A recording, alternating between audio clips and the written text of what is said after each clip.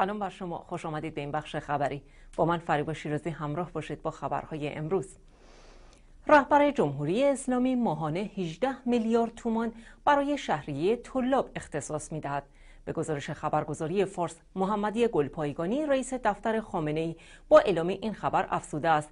محل تامین این بودجه از وجوهات است و حتی یک ریال آن حکومتی نیست. محمدی گلپایگانی نگفته که این 18 میلیارد تومان را در ماه بین چه تعدادی از طلاب تقسیم می کند. بیشتر نیز یوسف تباتبایی امام جمعه اصفهان از اداره 20 حوزه علمیه در سوریه، لبنان، پاکستان و دیگر کشورهای آفریقایی از سوی علی خامنه خبر داده بود طلاب حوزه های علمیه در ایران و برخی کشورهای مسلمان از حمایت مستقیم مالی مراجع تقلید و رهبر جمهوری اسلامی برخوردار هستند. علیرغم وعده های حسن روحانی مبنی بر رعایت حقوق اقوام و اقلیت ها نه تنها حقوق آنها بعد از روی کار آمدن دولت جدید رعایت نمی شود بلکه فشار بر آنها هم مضاعف شده است. بنا به اطلاع گزارشگران هرانا مردم روستای پادیگ کوهون واقع در جنوب سیستان و بلوچستان از تصرف قبرستان این روستا توسط سپاه پاسداران و تبدیل بخشی از آن به پایگاه بسیج ابراز نارضایتی کردند. حسن روحانی که پیشتر و در مبارزات انتخاباتی خود بارها بر ضرورت رعایت حقوق های قومی و مذهبی تاکید کرده بود در انتصاب استانداران از استانداران بومی استفاده نکرد. این در حالی بود که آقای روحانی در استانهایی که شامل اقوام و اقلیت هاست بیشترین آرا را به دست آورده بود. وزیر خارجه ایران تاکیدهای اخیر آقای اوباما بر لزوم استفاده ایران از فرصت مذاکرات اتمی را به قصد مصرف داخلی دانست. روز گذشته نیز مرزیه افخم سخنگوی وزارت خارجه ایران نیز اظهارات اوباما را تعابیر ناقص و متکبرانه از توافق ژنو خوانده بود رئیس جمهوری ایالات متحده در نطق خود در کنگره این کشور گفته بود اگر ایران از فرصت ناشی از مذاکرات اتمی استفاده نکند اولین کسی خواهد بود که خواستار تحریم های بیشتر علیه جمهوری اسلامی می شود آقای اوباما در این حال تصریح کرده بود حل مناقشه اتمی از راه مذاکره را بسیار مهم می داند و تحریم جدید علیه ایران را وتو می کند. عباس عراقچی عضو ارشد تیم مذاکره کننده هسته ایران می‌گوید مکان و زمان دقیق دور جدید مذاکرات ایران و گروه پنج به علاوه یک مشخص نشده است.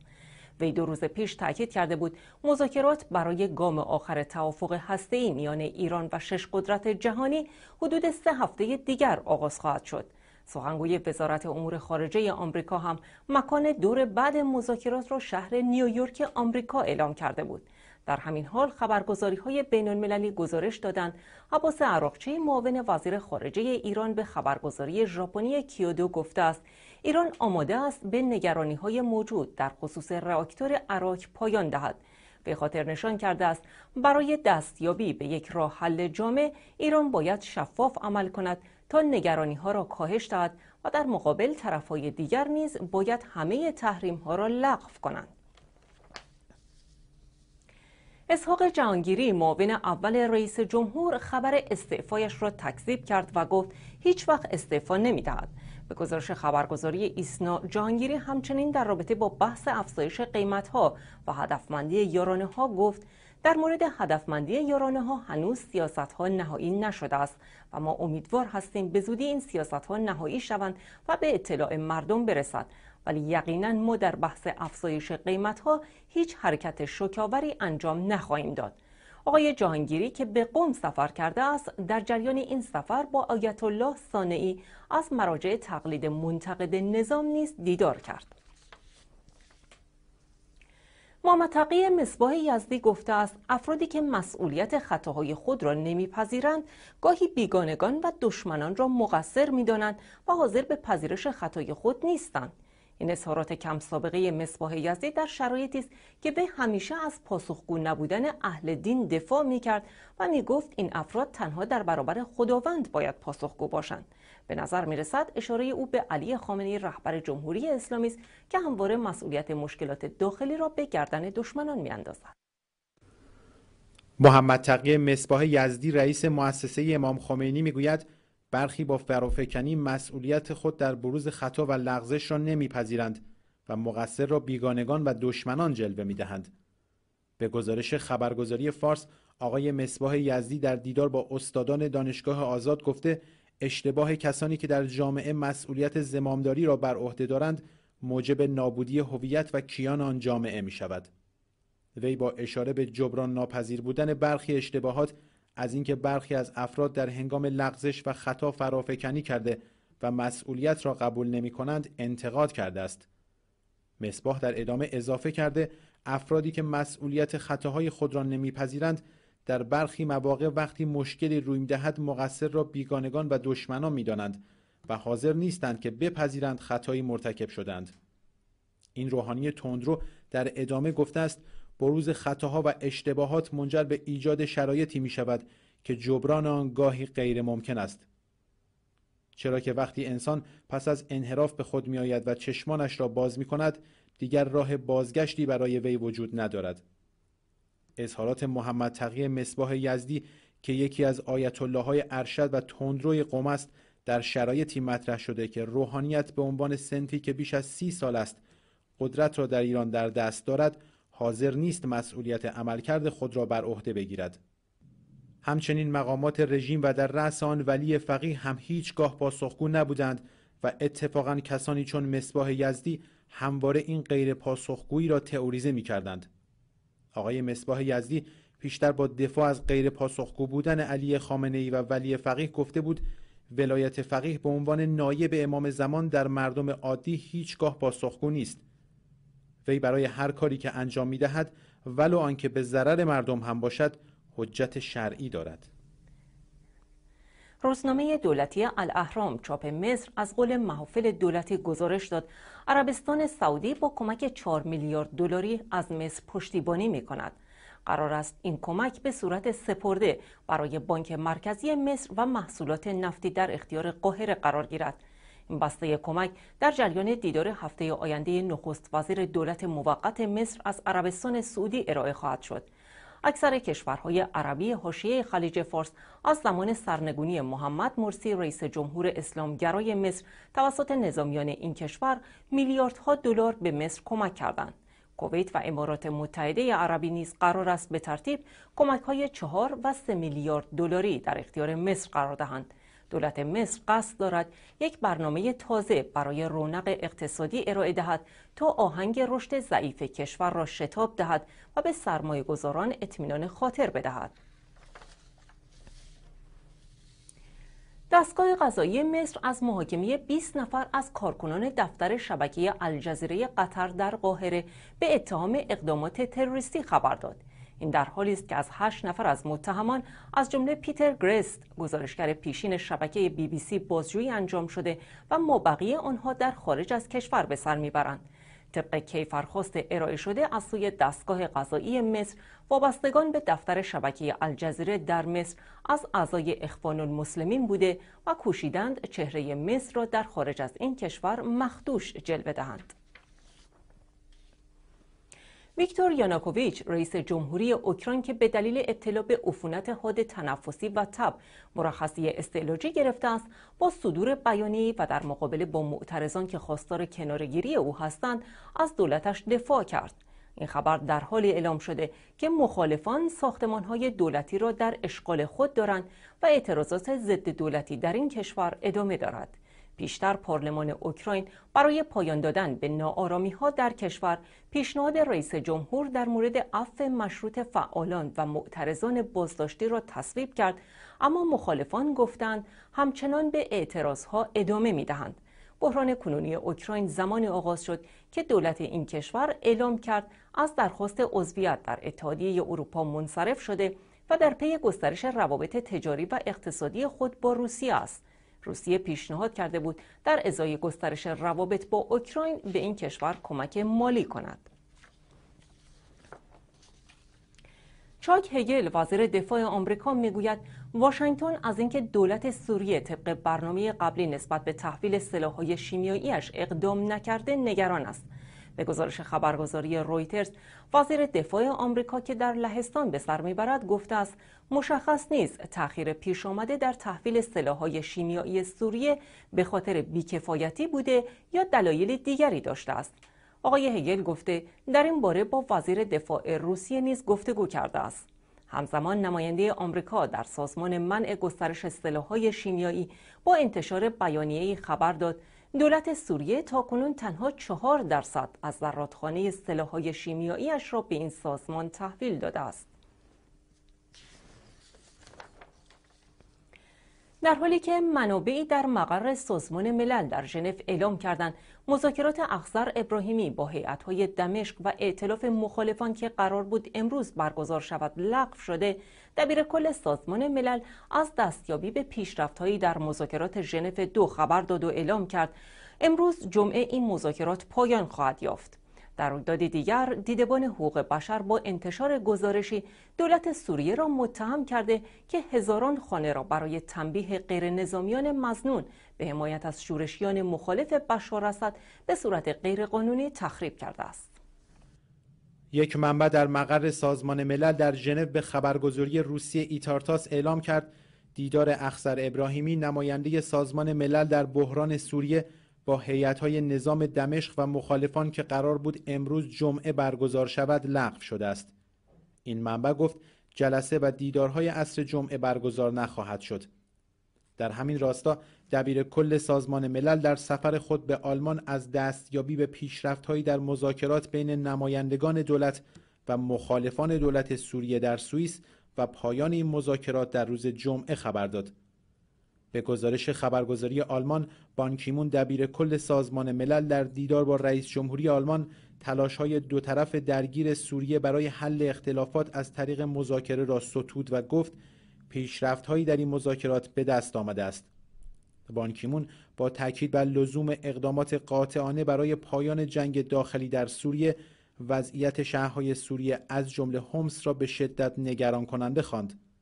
وی تاکید کرد این دوره از مذاکرات امروز به پایان می‌رسد و پس از آن هیئت اعزامی از سوی دولت سوریه و نیز اپوزیسیون این کشور برای رایزنی پیرامون مسائل مورد مذاکره سوئیس را ترک می کنند.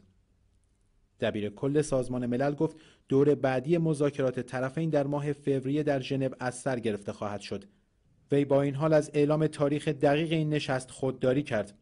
در همین حال وزیر خارجه فرانسه با ابراز نگرانی از امکان رسیدن به یک توافق در مذاکرات جاری در کنفرانس ژنو دو درباره بحران سوریه بر ضرورت اولویت بخشی به فاجعه انسانی در این کشور تاکید کرد. لوران فابیوس وزیر خارجه فرانسه گفت احتمال رسیدن به یک توافق یا آتش بس در حال حاضر سخت است و با توجه به اینکه روزانه ده ها نفر در سوریه جان خود را از دست می‌دهند پرداختن به وضعیت انسانی در این کشور باید از های اصلی در شرایط کنونی باشد. فابیوس گفت ما سعی کردیم مذاکرات ژنو دو ادامه یابد اما تا این لحظه نتایجی از این مذاکرات حاصل نشده است. در رویدادی دیگر نیز دیدبان حقوق بشر با انتشار گزارشی دولت سوریه را متهم کرده که هزاران خانه را در دمشق و هما عمدن و غیر قانونی تخریب کرده است. بر اساس گزارش این سازمان بین المللی مدافع حقوق بشر تخریب خانه های مردم برای تنبیه غیر نظامیان مزنون به حمایت از شورشیان مخالف حکومت صورت گرفته است. این گزارش ضمن جنایت جنگی خواندن این اقدام اسد از شورای امنیت سازمان ملل خواسته است رسیدگی به اوضاع سوریه را به دادگاه کیفری بین المللی ارجا دهد. از سال 2011 که جنگ داخلی سوریه آغاز شده بیش از یکصد هزار نفر در این کشور کشته شدند. در جنگ داخلی سوریه بیش از 9 میلیون نفر نیز آواره شدند و این جنگ یک بحران انسانی عظیم برای سوریه و همسایگانش ایجاد کرده است. 20 کارگر معدن چادرملو پس از مراجعه به پلیس امنیت شهرستان مبارکه اردکان بازداشت شدند. دور جدید اعتراضات سنفی حدود 2000 کارگر معدن چادرملو در واکنش به تایید حکم اخراج بهرام حسنی نژاد توسط هیئت تشخیص اداره کار اردکان از روز سهشنبه هشتم بهمن ماه آغاز شده که تا پنجشنبه دهم بهمن ماه نیز ادامه داشت و کارگران برای سومین روز متوالی دست از کار کشیدند ششم آذر ماه سال جاری نیز 800 کارگر این معدن در اعتراض به آنچه دستمزدهای ناعادلانه می‌خواندند و همچنین اخراج بهرام حسنی نژاد اقدام به تجمع اعتراضی کرده بودند. موج تعطیلی کارگاه ها و مراکز صنعتی به دلیل فشارهای اقتصادی ناشی از تحریم ها و سوء مدیریت های کلان دولتی یکی از معضلات جدی اقتصاد ایران به شمار می رود. معاون وزیر صنعت، معدن و تجارت می‌گوید سیستم بانکی ایران دچار مشکلات زیادی شده و حساب اکثر بانک ها در بانک مرکزی به دلیل فشارها و هزینه های سالهای گذشته قرمز است. محمد علی سید ابریشمی گفته است همه بانک های کشور مدیون و بدهکار بانک مرکزی هستند و امکانات مالی آنها اجازه نمی دهد که تسهیلات جدید را بپردازند. وی از بانک مسکن به عنوان بدهکارترین بانک کشور نام برد و گفت با شرایطی که برای بانک ها به وجود آمده آنها توانایی حمایت از سرمایه گذاران و صنعتگران را ندارند. آقای ابریشمی گفته است متاسفانه به جای اینکه اعتبارات این بانک ها صرف حمایت از صنایع شود در جایی خرج شد که بخش خصوصی باید وارد کار می شد.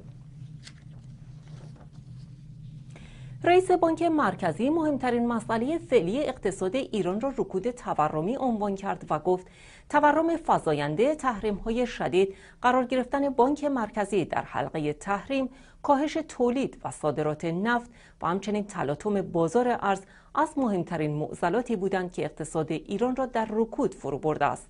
ولی الله سیف رئیس بانک مرکزی ایران با انتقاد از های مالی دولت محمود احمدی نژاد می‌گوید طی سه سال گذشته 180 میلیارد دلار ارز به بازار تزریق شده است تا قیمت آن کنترل شود که این امر ناشی از بیبرنامگی است رئیس کل بانک مرکزی همچنین گفت رشد نقدینگی در دوازده ماهه منتهی به آذر ماه سال 92 نسبت به دوره مشابه سال قبل نزدیک به چهار درصد کاهش یافته است.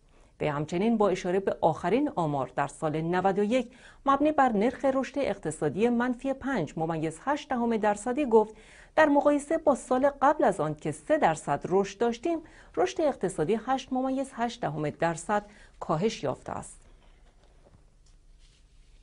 مجلس ایران در جریان بررسی جزئیات لایحه بودجه سال 93 تصویب کرد 31 درصد از درآمدهای نفتی کشور به صندوق توسعه ملی واریز شود. مجلس همچنین پیشنهاد کاهش سهم صندوق توسعه ملی تا 22 درصد را هم پیش روی داشت که محمد رضا پور ابراهیمی نماینده کرمان و راور آن را مطرح کرده بود. اما این پیشنهاد مخالفت شدید احمد توکلی نماینده تهران را به دنبال داشت. آقای توکلی گفته است تصویب چنین پیشنهادی به معنای تبدیل ارز بیشتر به پول داخلی است. به گفته او سرنوشت صندوق ذخیره ارزی باید موجب عبرت شود چرا که تنها ده درصد از منابع این صندوق صرف سرمایه گذاری در کشور شد و دولت مابقی آن را هزینه کرد که نتیجه چنین اقدامی شرایط فعلی کشور است. بر اساس گزارش خبرگزاری خانه ملت این مصوبه بانک مرکزی ایران را موظف می کند که به صورت ماهانه سهم صندوق توسعه ملی از درآمدهای حاصل از صادرات نفت خام و میعانات گازی که به خزانه کشور واریز شده است را پرداخت کند. وبسایت تابناک چند قبل نوشت که 80 درصد معوقات بانکی کشور تنها در اختیار سی نفر است حال قوه قضاییه با تایید این خبر تابناک گفته است بانک ها هم مقصر این مسائل هستند و مدیران بانکی در ایران از تسلیم شکایت علیه بدهکاران به قوه قضاییه امتناع می کنند. ناصر سراج رئیس سازمان بازرسی کل کشور امروز گفت بانک ها 100 هزار میلیارد تومان معوقات دارند که حاضر نیستند دادخواست علیه بدهکاران بانکی بدهند. علی توکلی رئیس کل دادگستری استان کرمان هم با انتقاد از عملکرد بانک ها گفته معوقات بانکی که سال 89 حدود 34 هزار میلیارد تومان بود در سال 90 به 80 هزار میلیارد تومان رسیده است. این مقام قضایی در بخش دیگری از سخنانش از رضایت یک بانک در پرونده اختلاس یک میلیارد و 500 میلیون تومانی انتقاد کرده و گفته نمی‌دانم پشت پرده چه اتفاقاتی رخ داده است. معاون اول قوه قضاییه از توقیف اموال بابک زنجانی خبر داد مقام های قوه قضاییه می‌گویند بابک زنجانی دو میلیارد یورو به وزارت نفت بدهکار است در همین راستا فرمانده نیروی انتظامی ایران هم با افشای اینکه پلیس در زمان احمدی نژاد نفت میفروخت گفته است نیروی انتظامی برای کمک به دولت و جبران کسری بودجه نفت فروخته و دیگر نفت نمی فروشد. ابراهیم رئیسی معاون اول قوه قضاییه از توقیف اموال بابک زنجانی خبر داد و درباره آخرین وضعیت بابک زنجانی و فعالیت‌های اقتصادی او گفت که این پرونده در دادسرای تهران در حال رسیدگی و متهم در مراحل بازجویی و بازپرسی قرار دارد. وی تصریح کرد اموالی که شناسایی شده توقیف گردید و تحت نظر دادستان قرار دارد. رئیسی افزود بدهی بابک زنجانی به وزارت نفت بحث محوری است و ابعاد مختلفی در این پرونده وجود دارد که یک بعد آن بحث بیت المال است. وی افزود که در حال حاضر بحث بازگرداندن بدهی به وزارت نفت است. البته مباحث دیگری نیز وجود دارد. رئیسی اشاره‌ای به جزئیات مباحث دیگر نکرد. همزمان با گفته های این مقام ارشد قضایی غلام حسین محسنی اژه‌ای دادستان کل کشور نیز اعلام کرد که زنجانی لیست اموالش در داخل و خارج از کشور را در اختیار ما قرار داده است و برای آن نیز رقمی را تعیین کرده است به گزارش خبرگزاری مهر اژه‌ای در ادامه گفت که بر اساس اعلام اولیه این لیست تکافوی میزان بدهی را می کند و امیدواریم شاکی با گرفتن اموال موافقت کرده و بدهی پرداخت شود. در همین راستا اسماعیل احمدی مقدم هم گفت سال گذشته نیروی انتظامی دچار کسری بودجه بوده و به توصیه محمود احمدی نژاد رئیس جمهوری وقت برای کسری بودجه 11 درصدی خود نفت فروخته است. آقای احمدی مقدم گفت رئیس جمهوری وقت به ما گفت اگر می‌خواهید به جای کسری 11 درصدی بودجه خود نفت بفروشید و از این طریق بودجه را تأمین کنید. او تاکید کرده که کار به صورت قانونی انجام شد اما در زمان حسابرسی تعلل شد و نیروی انتظامی نتوانست پول 1391 را در سال 1392 پرداخت کند. فرمانده پلیس ایران توضیحی درباره چگونگی فروش نفت نداده اما گفته در زمان تحریم ها نباید روش ها را برای دشمن افشا کرد. او در پایان گفت نیروی انتظامی دیگر نفت نمی فروشد. بهمن ماه امسال در گزارش تفریق بودجه سال 1391 گفته شد که یکی از شرکت های وابسته به نیروی انتظامی ایران بیش از یک میلیون و 600 هزار بشکه نفت خام به ارزش 185 میلیون دلار از شرکت ملی نفت تحویل گرفته است. بر اساس گزارش تفریق بودجه این شرکت وابسته به نیروی انتظامی با وجود فروش نفت خام و دریافت بهای آن بدهی خود را به شرکت ملی نفت نداده است در گزارش تفریق بودجه نام یک شرکت دیگر بدهکار به وزارت نفت هم اعلام شد خبرگزاری فارس بابک زنجانی را صاحب این شرکت معرفی کرده است بابک زنجانی از تاجران نزدیک به دولت محمود احمدی نژاد محسوب می‌شد که در حال حاضر اتهامات متعددی در رابطه با فساد مالی و عدم پرداخت بدهیش به وزارت نفت متوجه اوست. منابع امنیتی لیبی از درگیری های شدید در شهر بنغازی خبر دادند. در همین حال در این شهر افراد مسلح ناشناس فرمانده نیروهای ویژه ارتش لیبی را در شهر بنغازی رو بودند. در پی روبوده شدن این فرد درگیری های شدید میان نیروهای ویژه این کشور و گروه های مسلح در شهر بنغازی رخ داد. به گزارش شبکه العربیه این درگیری ها تا نیمه شب گذشته همچنان ادامه داشت. دادستان کل آمریکا می‌گوید به دنبال صدور حکم اعدام برای جوهر سارنایف متهم بمبگذاری ماراتون بوستون به دادستانها اجازه داده شده است در صورت اثبات گناهکاری وی برای او درخواست حکم اعدام کنند. جوهر سارنایف همراه برادرش تیمور لنگ به عنوان متهمان اصلی حادثه بمبگذاری ده ماه پیش در بوستون آمریکا معرفی شدند. تیمور لنگ به دنبال درگیری با پلیس کشته شد اما جوهر سارنایوف پس از گذراندن یک دوره درمانی در بیمارستان تاکنون در بازداشت بوده است او نقش داشتن در بمبگذاری را رد کرده است وزارت دفاع آمریکا می‌گوید تعداد افسران شاغل در بخش موشک های هسته‌ای که در جریان امتحان دوره‌ای مهارت‌هایشان تقلب کردند به 92 نفر رسیده است. دبورا لی جیمز مسئول نیروی هوایی آمریکا در بیانیه‌ای با اعلام این خبر گفته است این موضوع پس از بازدیدی از پایگاه های هسته‌ای آمریکا مشخص شده است پیشتر اعلام شده بود که 34 افسر نیروی هوایی آمریکا به خاطر تقلب در امتحانهای ماهانه مهارت حرفه‌ای از کار برکنار شدند. افسرانی که در جریان تحقیق اخیر مورد سوال قرار گرفتند مسئول نظارت بر نگهداری و عملکرد 450 موشک هسته‌ای میان قاره‌ای آمریکا هستند و باید همواره آمادگیشان برای شرایط اضطراری ارزیابی شود. گزارش اخیر وزارت بهداشت و درمان کشور حکایت از افزایش نگران کننده بیماری های افسردگی و اختلالات روانی در کشور دارد. بر این اساس رشد بیماری افسردگی و اختلالات روانی در کشور 21 درصد و در شهر تهران 34 درصد بوده است. مستان بختیاری و جزئیات بیشتر از این خبر. وزارت بهداشت و درمان کشور اخیرا گزارشی رو در مورد شیوع افسردگی و گسترش بیماری ها و اختلالات روانی در کشور منتشر کرده که گزارش بسیار نگران کننده است. اینکه نکات قابل توجهی رو میشه در اون دید.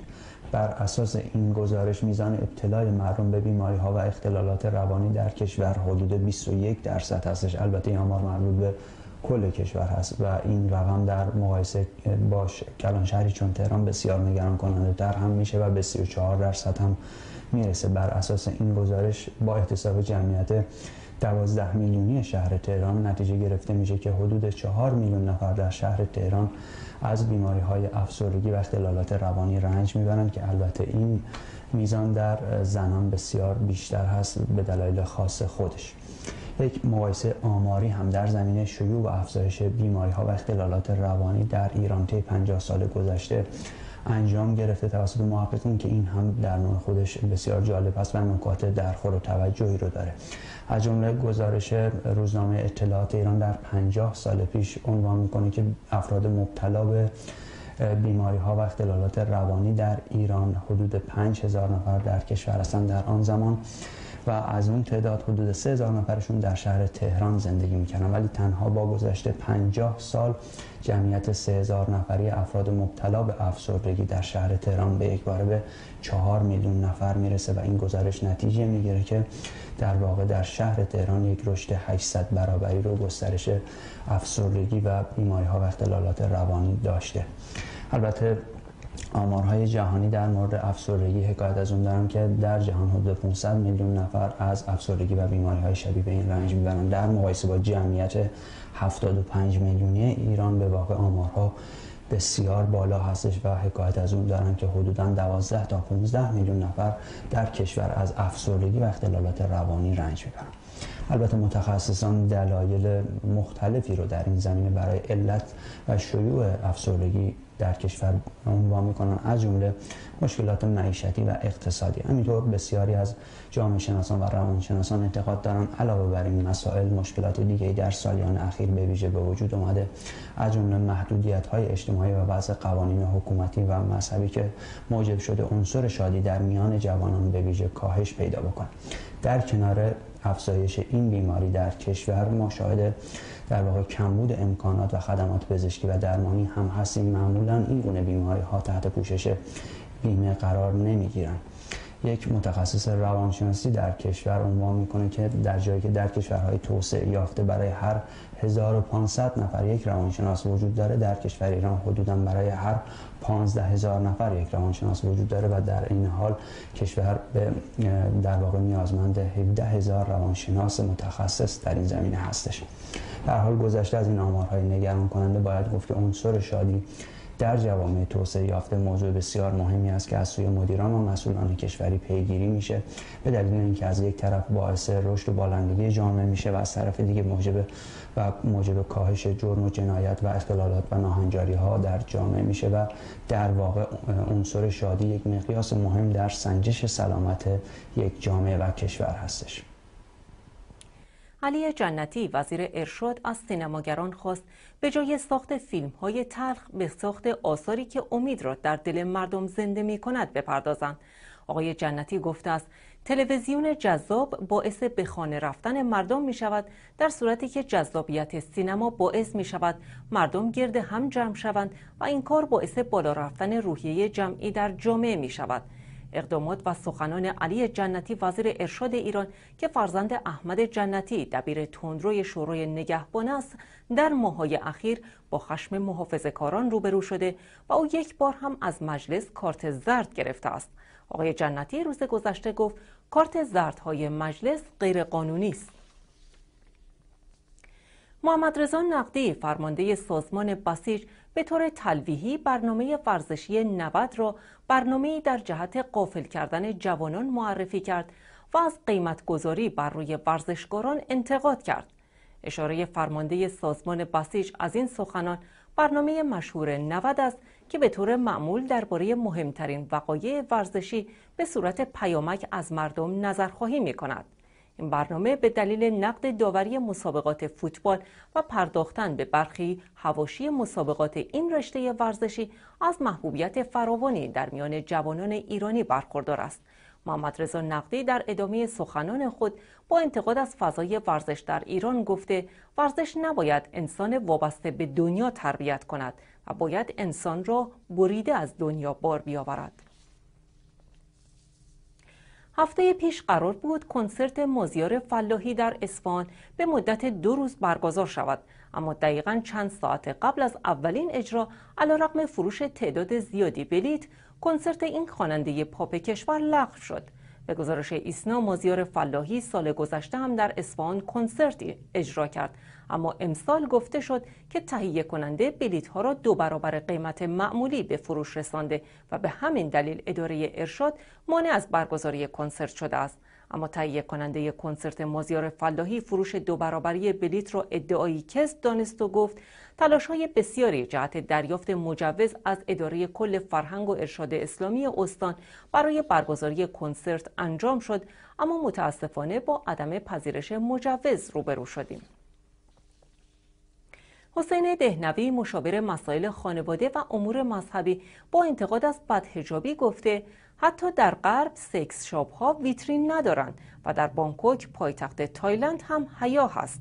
موضوع هجاب به یکی از تابوهای جمهوری اسلامی ایران تبدیل شده است موضوع پرمناقشه که در سالهای اخیر نارضایتی های زیادی در جامعه ایران برانگیخته است فعالان حقوق زنان و کارشناسان حقوقی برخورد با نوع پوشش زنان از سوی نهادهای نظامی و امنیتی را تجاوز به حقوق فردی شهروندان و محدود ساختن آزادیهای آنها می‌دانند. حسین دهنوی مشاور مسائل خانواده و امور مذهبی گفته در غرب سکس شاپ ها ویترین ندارند. خوب نیست مردها حرس زن نداشته باشند و نتیجه دیدن تصاویر بدهجابی برای مردان همجنسگرایی است. به گزارش خبرگزاری دانشجو آقای دهنوی در همایش ناهنجاری های پوششی و تأثیر آن بر خانواده ها گفت در بانکوک پایتخت تایلند که مردان آن به هیچ دینی اعتقاد ندارند جلوه هایی از حیا دیده می شود وی افزود برخی می‌گویند در دنیای غرب هجاب وجود ندارد و مرد دیگر هرسی به زن ندارد. اتفاقا این خوب نیست.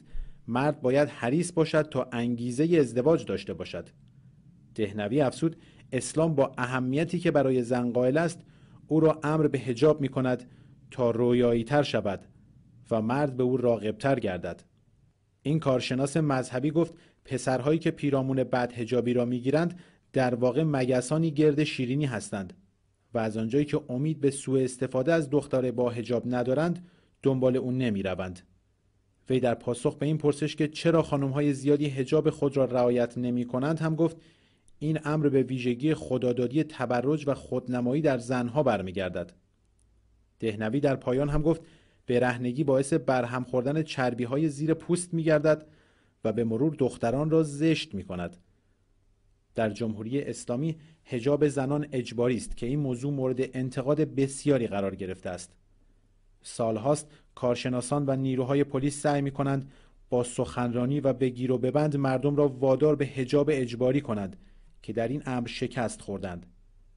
پیش از این نعیمه اشراقی نوه آیت الله خمینی طی مصاحبه‌ای با انتقاد از اجباری شدن هجاب در ایران گفته بود که ما با اجباری کردن هجاب می‌خواستیم حاشیه امنیت جامعه را بالا ببریم اما دقیقا برعکس عمل کردیم و این امنیت را پایین آوردیم اظهارات نوه آیت الله خمینی درباره هجاب اجباری و چادر در تضاد با مواضع جمهوری اسلامی از موضوع هجاب است مقام های جمهوری اسلامی و به ویژه آیت الله خامنه ای رهبر جمهوری اسلامی بارها بر رعایت حجاب در جامعه تاکید کرده و چادر را حجاب برتر دانستند.